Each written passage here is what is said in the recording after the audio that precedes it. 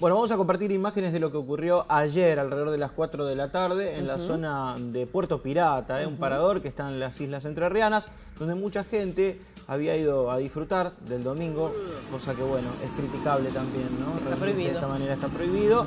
Eh, dos buques que se cruzan entre sí, uno hacia el norte y otro hacia el sur, generan este oleaje. Exactamente. Bueno, vemos a aquellos que estaban disfrutando de la tarde en el río que tomaban estas imágenes, que veían venir esta ola que empezaba a mover tímidamente algunas lanchas en, en un principio y terminó haciendo chocar entre, entre ellas a, a las que estaban al final de la cola de la ola. Miren, usted cómo, ustedes cómo avanza.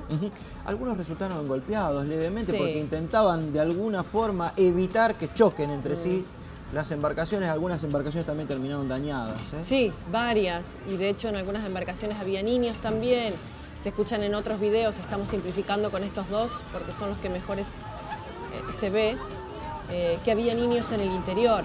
Lo que tal vez ustedes no vieron en ningún lado es otro video que les vamos a mostrar, porque esto tuvo una amplia reproducción en redes sociales. De hecho, se multiplicó por mil la- cantidad de veces que lo mandaron a- al WhatsApp de Telefe Rosario. Pero Claro. este es el video, y si quieren escuchen el audio también, original, el que originó todo.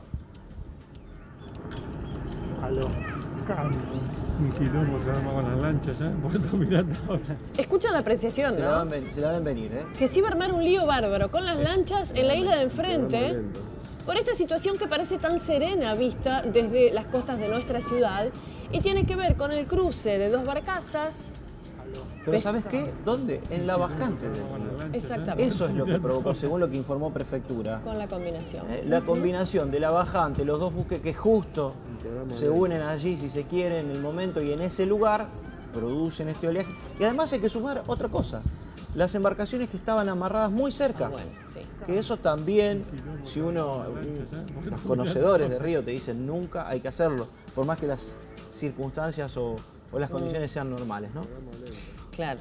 Hay, hay solamente un- un- una franja del río en donde uno puede dejar la embarcación. Tanta gente, tanta gente está cruzando que, bueno, de hecho no queda, no queda otra que, que amucharse de esa forma y, bueno, la naturaleza también eh, les, les contestó. De hecho, nos enteramos de la cantidad de gente que está por estas horas en el río gracias a la viralización de este video ¿no? y lo que ha ocurrido allí con esta ola.